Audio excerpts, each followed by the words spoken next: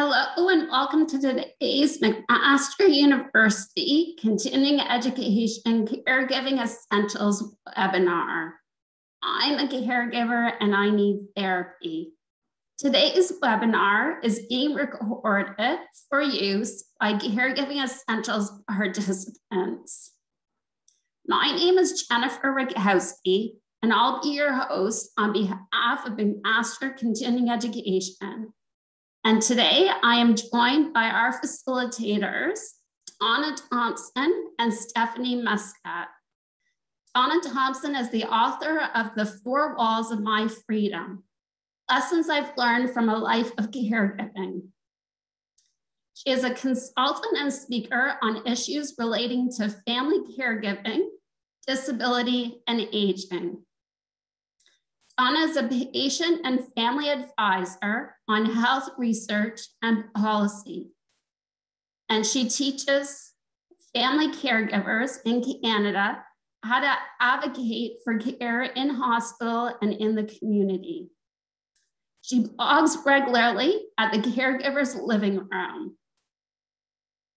Donna is the facilitator of our Caregiving Essentials and Infection Prevention and Control for Caregivers and Families, our free online courses for family caregivers. And now I'd like to introduce you to Stephanie Muskat.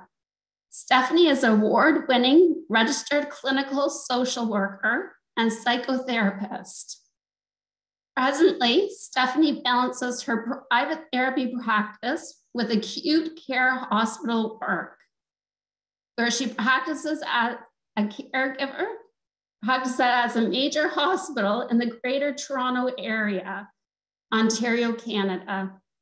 Her work is primarily focused on caregivers and their aging loved ones. Stephanie has been featured on numerous television networks and radio stations, including CTV, CP24, CBC, Rogers Television, and has presented at numerous universities and public events to raise awareness about mental health and mental health supports.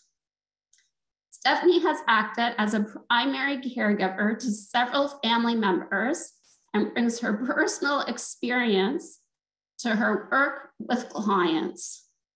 Donna, I'll hand things over to you.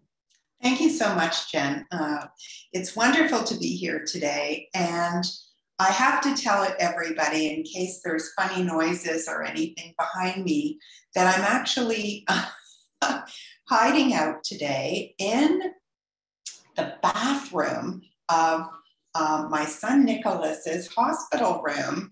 He is recovering um, right now from an infection, but he's doing really, really well. And um, so if you hear announcements or something in the background um, or the sound of a fan above my head, um, there's not really anything I can do about that. But uh, as, as, as most of you are caregivers, you'll all uh, understand um, exactly what this is all about. So, Stephanie, um, welcome to uh, Caregiving Essential webinar, our first one for uh, this, ca this calendar year of Caregiving Essentials course 20, uh, 2021-22. So I'm so pleased it's you. And I discovered you, I think, maybe on Twitter. Uh, but as soon as I found out that you were offering a service of therapeutic support for family caregivers and that you yourself had a background in family caregiving, um, I just had to know more.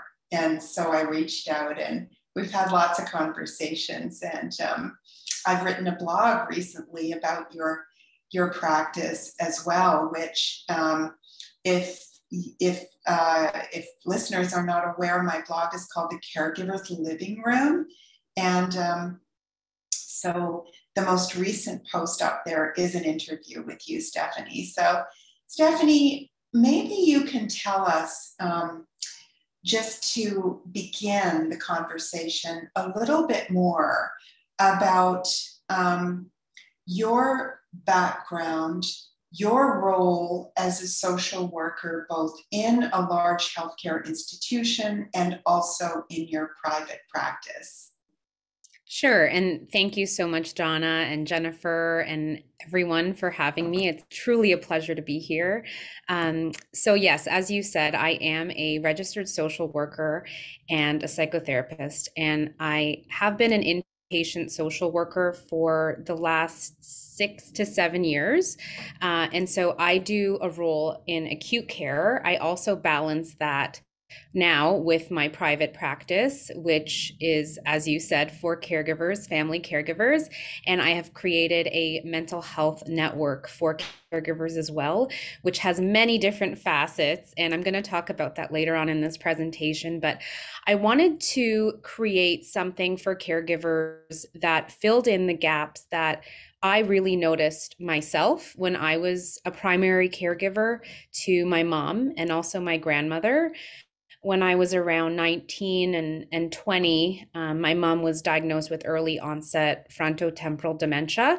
And I was also caring for my grandmother, who was in her 90s, um, and she showed facets of Alzheimer's.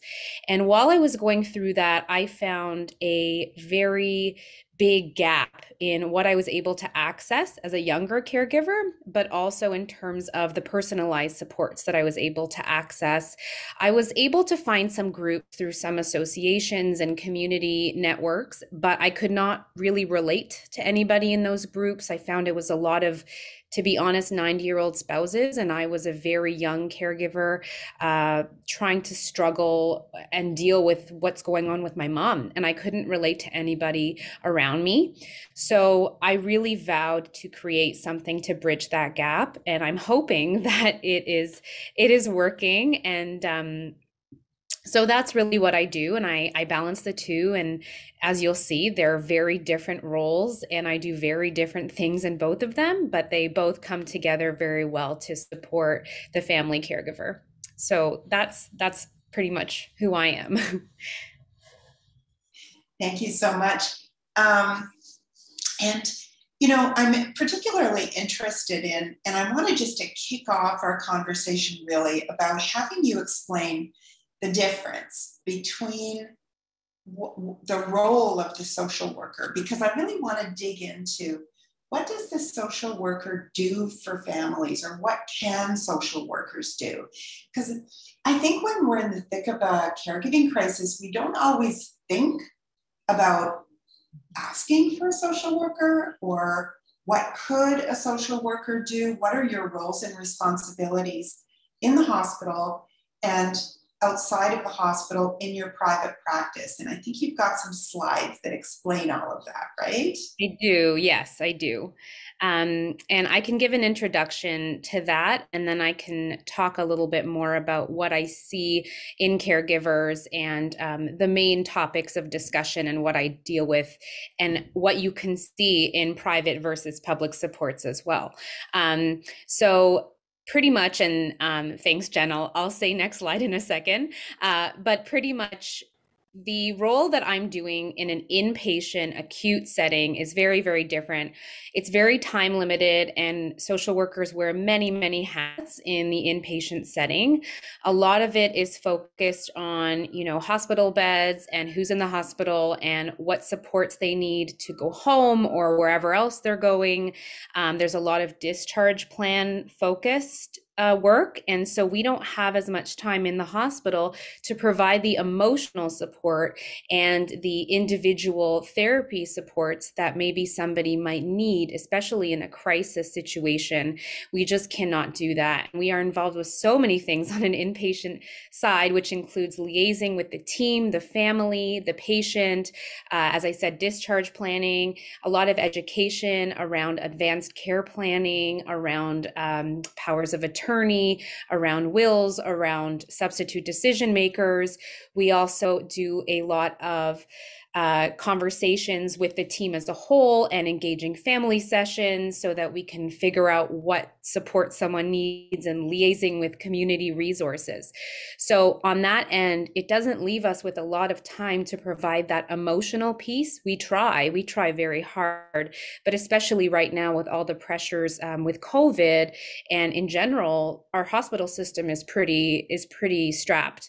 And yeah. so, what I do in a personal uh, side in my private practice is I'm able to provide custom tailored emotional support to my clients that is not time limited that can go ongoing and really provides clients with what they need where they're at right now and there's not as much of a rush and an urgency around that. And okay we're going to talk about emotional support for 10 minutes and then we're going to talk about how we're getting your loved one home.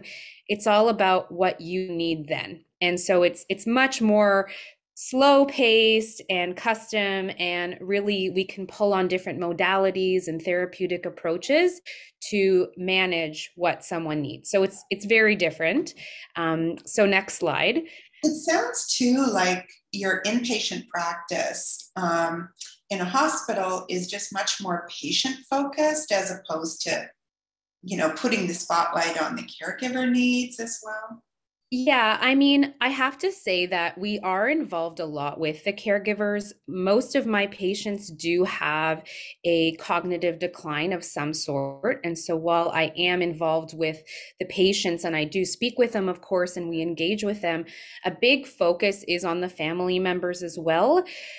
But a big focus is mainly on having the family members engaged as part of discharge and as part of planning how the person is going to go home or how their loved one's going to go to an alternative facility or what's going to happen versus giving the time to provide that emotional support because we just can't. And so I'll get lots of phone calls from family members telling me, you know, they're distressed and they want to speak. And of course, I speak to them. But again, it's really about the bigger picture in the system. And so, oh, sorry, did you want to say something? No, no, I'm just okay. Okay. So I wanted to talk about um, what I do notice a lot with my caregivers, um, both in the hospital but also in my private practice. And I'm sure a lot of caregivers can relate to this. And this is a lot of what we talk about in my private practice, but also in my hospital work uh, when I am providing emotional support. And these are five of the main things I see uh, with the emotions of caregiving. So we do see a lot of grief. And when we typically think about grief, we think about grief when someone passes. But actually, people tend to go through the cycles of grief a lot when someone is still alive, especially when they're grappling with a new diagnosis or seeing changes in their loved one ongoing. We call that ambiguous grief. And someone will feel all of those emotions and not know that they're actually going through grief, but they are.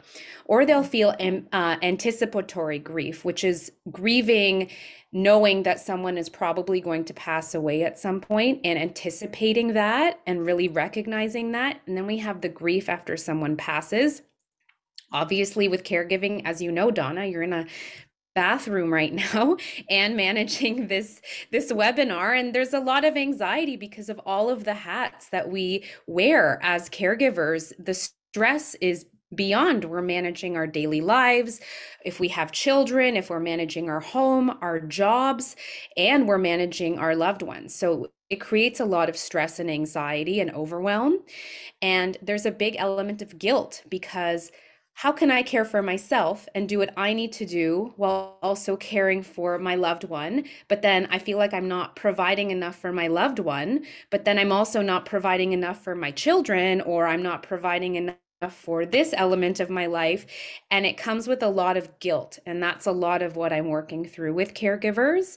And then sadness, you know, why has this come up in my life? Why is there another diagnosis? Dealing with what the physicians are telling you and what the team members are telling you is really, really difficult. And feeling like, why is this happening to me and not other people that I know? Why is this my life? Those are all normal emotions, but it does come up a lot. And so, with all of those feelings, it can be understandable why someone needs support and is feeling so, so overwhelmed. So that is really what I'm seeing when I am working with caregivers, both in the hospital and outside the hospital. Next slide.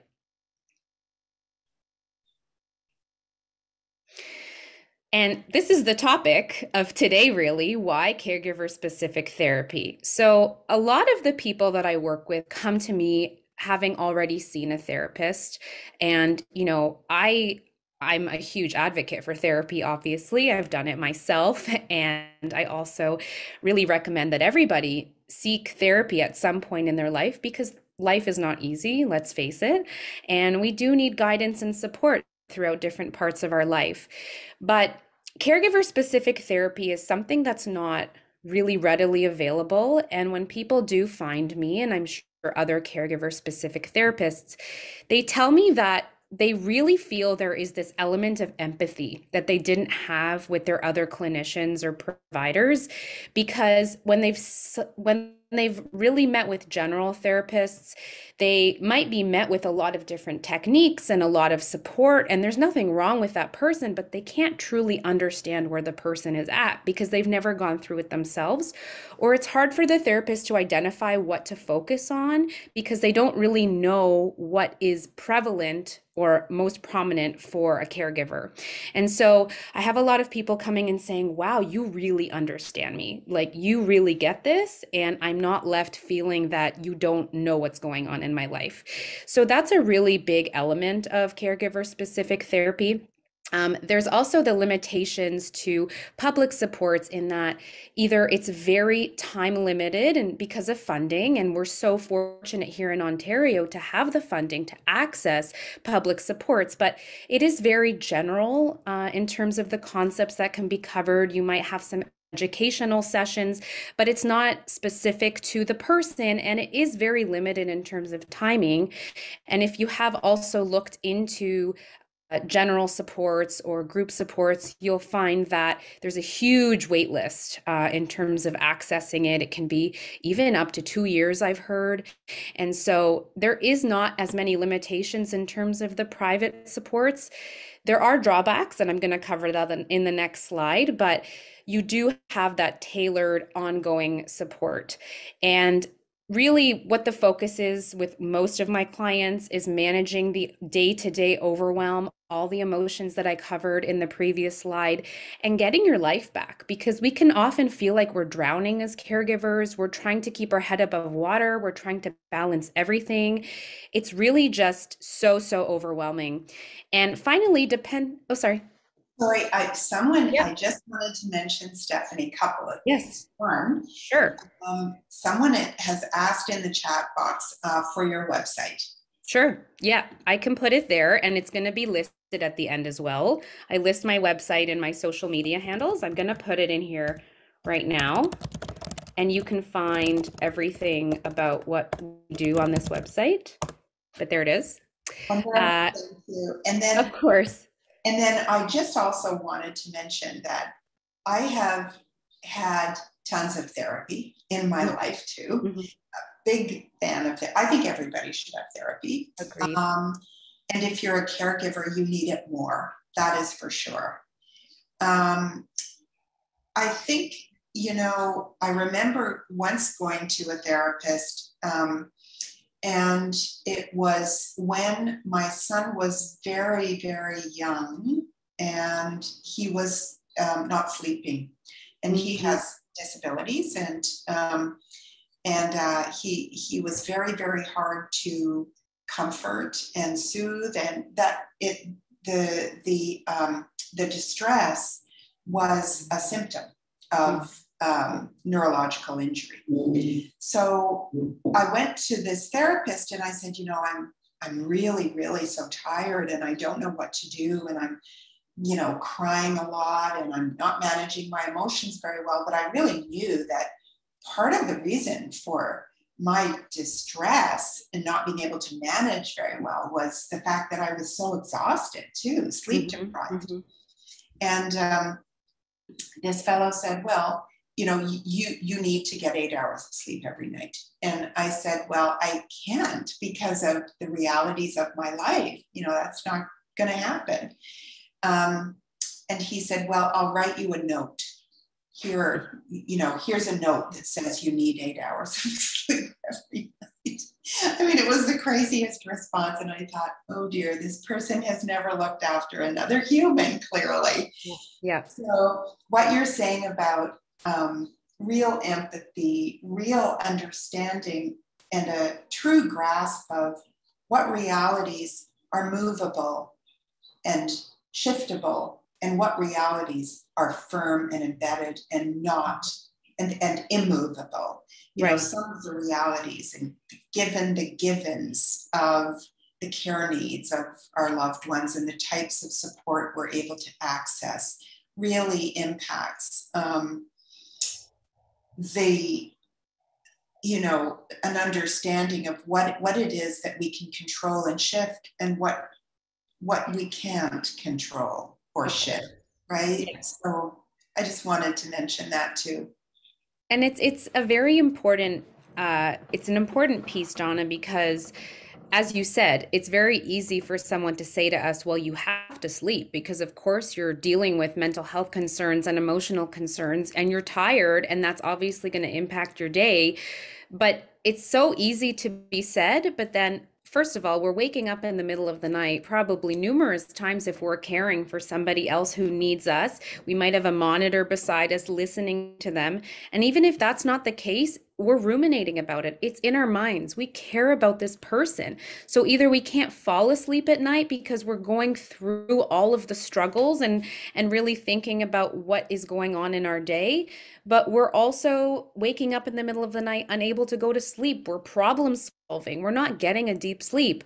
So really the you know, it's easy to say get sleep, but there needs to be something going on behind the scenes where we have to actually deal with the underlying emotions and the underlying issues and, you know, creating boundaries and self care and unwinding and all of that is what can result in the sleep but you can't really just say here's an you know i understand what the person was doing and and you know but again it's the understanding just isn't there and that person just maybe has not gone through it. Yeah so yeah um, so that's really the focus on caregiver specific therapy. And i just see here um, that someone asked a question. I'm just going to answer the question. So, Lena said, uh, Is speaking to a social worker considered therapy? That's a really good question. And therapy comes in all different forms. So, I just want to say that just because you're a social worker doesn't mean that you provide therapy, but you don't have to be a social worker to be a therapist. So, you can be a therapist and be a psycho, um, a psychologist, you can be an occupational therapist and have uh, the specific the specific certifications to do therapy that they can do art therapy. Therapy comes in many forms. So no just speaking to a ther- uh, social worker is not specifically therapy. There are certain things that we have to do that make it psychotherapy for example um, and we have to be licensed as well. So be careful in terms of who you're seeing and what uh, certifications they have and the education they have in terms of being licensed. Social workers also come in all different forms. So you can be um, a social service worker, you can have a bachelor's in social work, you can have a master's in social work. And really, the training and the experience is very different for everybody. So I would say no. If you're not sure what you're engaging in, ask your clinician. But therapy comes in many forms, and just having a conversation is not necessarily therapy, but we can get into this conversation of, well, you know, what is therapy and what does therapy do? And if it's working for you and you feel it's therapeutic, then absolutely, maybe that's therapy. But the act of psychotherapy is something that is mandated that you have to have certifications on and education, and it has to actually state that that's what you're getting. So just be careful in terms of where you're seeking that and and what you're getting that from. I hope that answers the question, but therapy comes in so many different forms and it's just the definition of the word. I wanted to talk about the differences in private and public supports because I think that again it's important to recognize that there are supports available uh, out there in the community from community resources and even in hospitals. A lot of public supports are available, but we have to really think about the differences here and also realize there are limitations to private therapy too. So it's not all, you know, this beautiful, glorious thing obviously there are costs involved um, private therapy does come usually it's it's charged by the hour and there are costs associated which is not always accessible to everybody. I have seen a lot of insurance providers start to uh, really recognize social workers and psychologists and provide funding for this. So i just want to emphasize that. Ask stephanie sure. yeah you need a prescription um, to access therapy from a social worker? No no, you don't. Do you need a prescription if you're going to claim on your insurance though? No. No. So so the clients that I've had who do access through insurance, they need my registration number, my college, what college I'm associated with, and they also need the business address, phone number, all of those details. But if we are registered and we are licensed, that's all they need. So you don't need a prescription. It's a really good question. They just go directly to their insurance provider, and their insurance provider will let them know what they need. So, um, but definitely costs are a big thing. And when you are accessing o- OHIP supports, you're not dealing with those costs. Also, accessibility. Um, so, the drawback to private therapy is that you might have to go in person, although these days with COVID, a lot of it a lot of it is online and very accessible to you on your virtual device. So, it's really really good it's a catch 22 covid's not good but it is it's created this whole new world where we can do virtual support and you don't have to go to someone's office whereas back in the day if were accessibility concerns or the inability to go in person for whatever reason or you know disabilities and inability to travel that was really difficult. And hospitals are often an accessible environment not always but that provided a better option. But these days because of virtual support that's kind of different. Um, and then, as I said, there's generalized supports when you're going to community centers or you're going to community resources or you're going to hospitals where they can't custom tailor supports to you, especially in a group setting, because it is so time limited and there are so many cost restrictions involved versus the personalized care that you're getting as one on one therapy and versus the one on one support that you can get that's custom tailored to where you're at. And again, you don't have those time limitations with private therapy. And the final thing is that wait time. You can wait for years for a support group that you're really wanting. And if you want the private one on one, you're probably getting in a lot sooner. Next slide. So I want to touch on this because, along with the emotions that we deal with as caregivers, there are a lot of daily themes and daily experiences that a lot of people go through. So, one of the main things is interpersonal issues, and that's really not talked about very much. And that includes family conflict as well.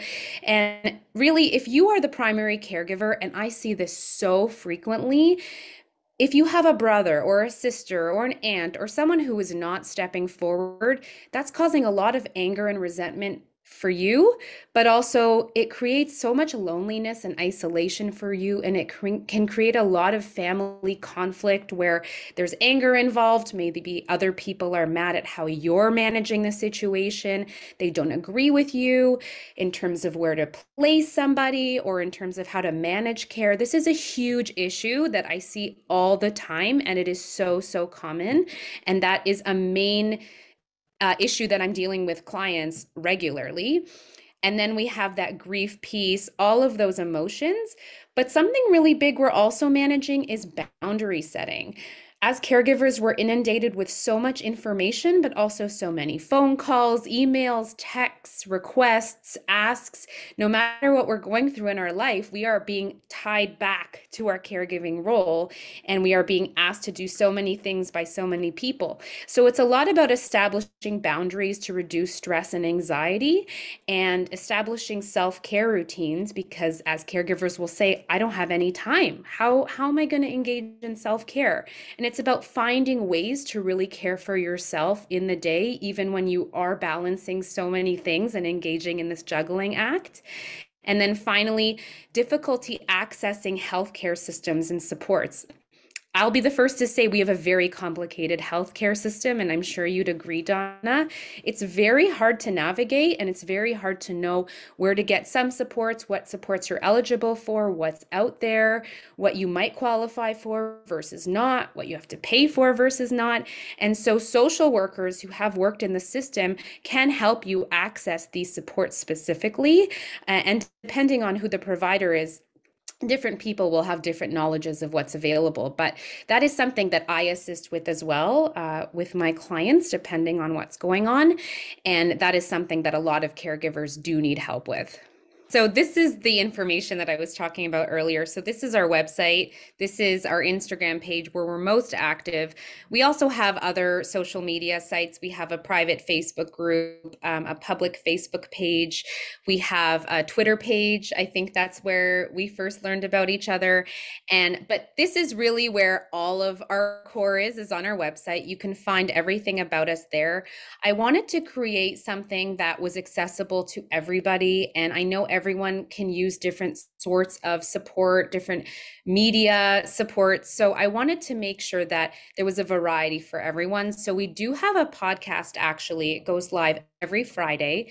And we have a variety of caregivers that come on to talk about their own experiences. I talk about myself as a caregiver, also about uh, therapeutic modalities and different concerns in caregiving and the mental health aspect. And we have a lot of professionals that have come on to talk about so many different areas of caregiving. And people have really enjoyed the podcast, and it's free. So you can listen to it while you're cleaning in your house or driving. And it just provides some sort of uplifting aspect to your day that can also help. We also have re- free resources specifically on our Instagram page where we provide uplifting content and material. We have had uh, anonymous caregiving stories that were shared so you can relate to other people. And I find that most people can find snippets that they can relate to in all of the stories. And we also, of course, have the private support. So, private therapy, we do have group support programs going on uh, where you have access to ongoing webinars on topics. And then we have our group programs that's going on right now. And uh, again, I can provide assistance with navigating support. So feel free to look over that and, and see what may or may not suit you. And if you have questions, you can always reach out to me. I'm always available to help in any way that I can and refer if if something else is more appropriate. I'm happy to refer to more appropriate uh, sources or individuals. So that's what we provide. That's great. Thank you so much. Of course. Um, you know, I have so many questions. The first one that's in my mind is if if there are people listening here today who may not um, live in your catchment. Um, are, are you, so you're, you would be able to, to, to work privately with um, any caregiver who is resident in the province of Ontario, is that right? Yep. So so with therapy and that's a really good question. So with my therapy, I do provide therapy only in Ontario. That's where I'm licensed and registered. The mm-hmm. group support program is different because it's not therapy. So it is more of an educational content and a learning piece. So that I provide to people all over the place. We have attendees from the United States because that is not therapy, but the therapy, yes, is limited to Ontario. That's a really good question. Okay. And someone just is asking again if you have health insurance, would this therapy be covered? Yep. So I always recommend that before you start with somebody in therapy in private therapy that you reach out to your health insurance provider to see if they do cover in my case a registered social worker who's registered with the Ontario College of Social Workers and Social Service Workers. But you have to ask specifically if they do cover the individual that you're looking at because some will only cover psychologists some will only cover social workers. So definitely double check with your provider on what they can cover Okay, that's very good advice. Thank you. You're welcome. And in terms of, you know, so often um, a clinical role like a social worker, just if you're in the thick of caregiving, a social worker, somewhat like a pharmacist almost as well, are not people who are front of mind to go to for help and support. Mm-hmm. Um, you just, I, I think most people, unless a, unless a social worker came up to you and said, "Hey, I'm a social worker. I can help you in a number of ways." You're not going to think, "I better find myself a social worker." So, what can what can family caregivers do to a find a social worker, and what can social workers do for, fam- for family caregivers generally who are at home, mm-hmm. supporting somebody at home, say, um, in the community, what, what would be um, something that a family caregiver could do to A, find a social worker, and B, what kinds of support might a family caregiver in the community um, ask for? So that's a really good question. And social workers can be found in so many different ways. So I think what I'll start with is if someone is in the community, what supports can social workers provide? And the number one thing that I think can be provided from community resources is a case manager. So you may or may not have thought about the, or, or heard about this before, but a lot of uh, community agencies will have case managers who can help uh, figure out where you can get your supports and where you need to navigate supports. A lot of them are free, and you have to contact specific agencies to access them. So, again, it really depends where you're living, what your catchment area is to see who you can actually interact with.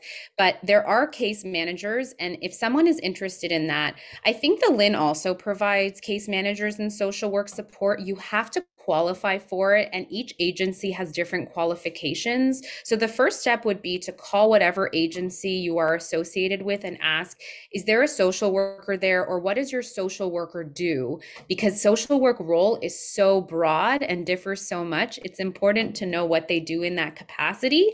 Like my role as an inpatient social worker is very very different than a social worker at SPRINT which is one of the community agencies that provides case managers and um, they are actually specific to one catchment area in Toronto, and they provide senior support to a certain age, but you also have to qualify. So I would call the agencies you're working with if you are already and say, Do you have a social worker, and what do they do in your agency?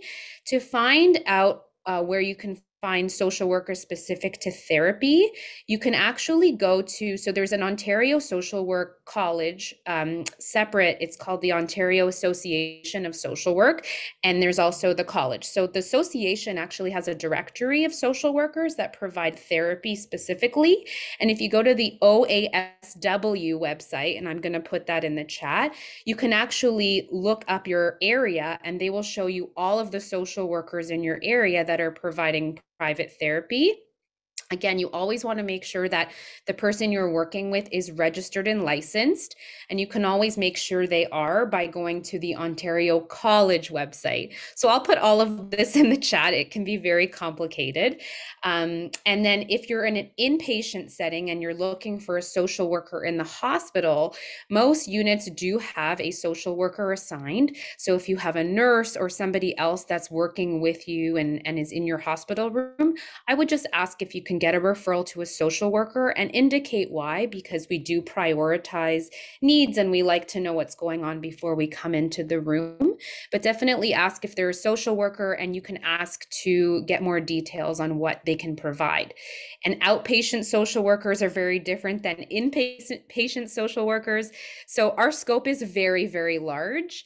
And you brought up a really good point because I think when most people think about social workers, they think about like children's aid. And so I've had a lot of patients where I'll go into the room and I'll say, Hi, I'm Stephanie, I'm your social worker. And they'll say, I don't have any children's aid issues. And I think that's just a common understanding but to be honest, I didn't know that social workers could provide psychotherapy, for example, until I was in university dealing with the struggles of my mom. And I went to the health clinic and they referred me to see a social worker. I thought that just psychiatrists and psychologists provided therapy. So it's not the, the most well known thing. Um, but yes, there's so many different facets, and the role is different no matter where you go. So just ask. Yeah, such such great points. Thank you, Stephanie. And you know, many people in the chat have fantastic um, ideas too. Uh, Donna is saying that many organizations have social workers affiliated with them, including the Alzheimer's Society. Um, so disease-specific yep. organizations, it's worth asking them if they have social work support. Um, and Diane is saying she is a social worker with the Canadian Mental Health Association, and she's also a caregiver for her mother. Um, you know, I'm listening to you today and I'm thinking, gosh, if I decide to pick up the phone and find a social worker for therapy myself, I might just work up the nerve to ask the individual whether they have any personal caregiving experience because I don't know that it's going to be enormously helpful for me to speak to someone if I have to explain from point zero what caregiving is all about. Um, yeah. uh, particularly if you are, if you identify as a caregiver as your primary identity, which I do. And it is because that is what I have done almost all of my adult life. So, um, so do you think it's reasonable to ask a social worker if they have had any of their own personal caregiving experience? Is that is that a reasonable question? I think it's definitely reasonable. And I think that it's reasonable in the sense of you want someone that you can relate to. If your experiences previously have made you feel more isolated and alone and not understood, it's very important that you know who you're working with and engaging with because you want to make sure that it's a relationship that's going to go positively and be worth your time. Our times are so limited, especially with caregiving. And I think you really need to know the background of the person you're working with. It's a very fair question, not just with caregiving, but with any aspect of what you're doing. You want to know the experience and background of your care provider. Mm-hmm. Thank you. Um, you know, uh, there is a question from Barbara in the chat, and she's directed it just to the hosts and panelists. So I'll read it out. Um, she says she's a caregiver for two people in long term care uh, one with Alzheimer's and the other with physical disabilities and behavioral problems. Can your doctor provide support and direct you to the proper resources also?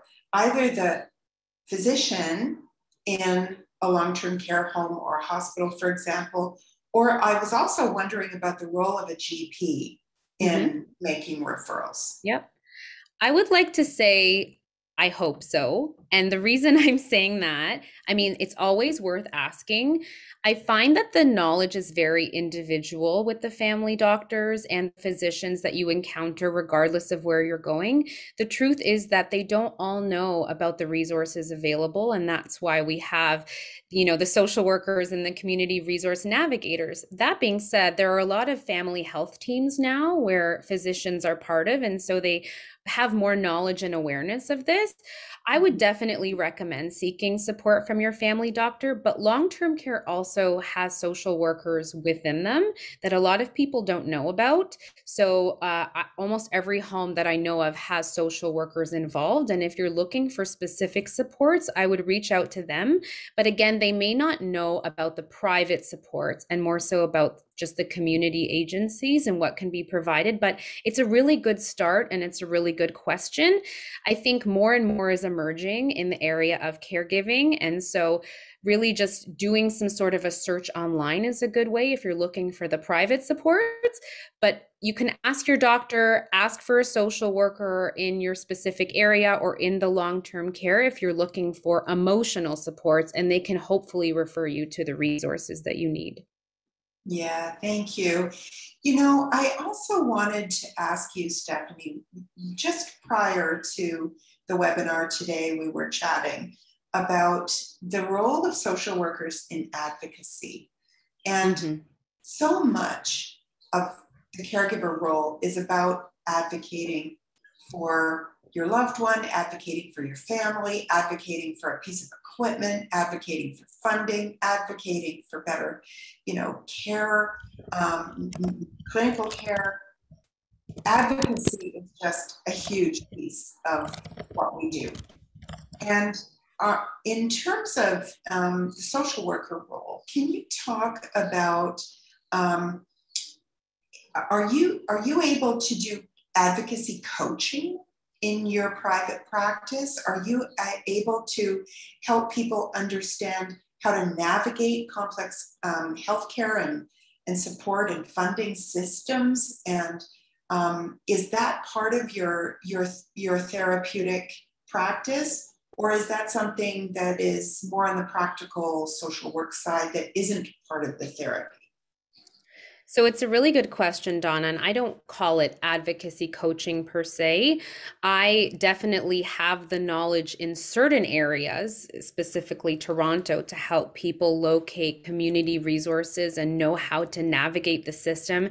I can also help people advocate uh, on behalf of themselves or their loved ones for resources. So, uh, for example, I did have a family recently who their primary need was getting across what they their concerns and what their main needs were to their neurologist. And so I actually did ask to engage in a conversation in tandem with the neurologist and the family to have that conversation and to be kind of like a mediator.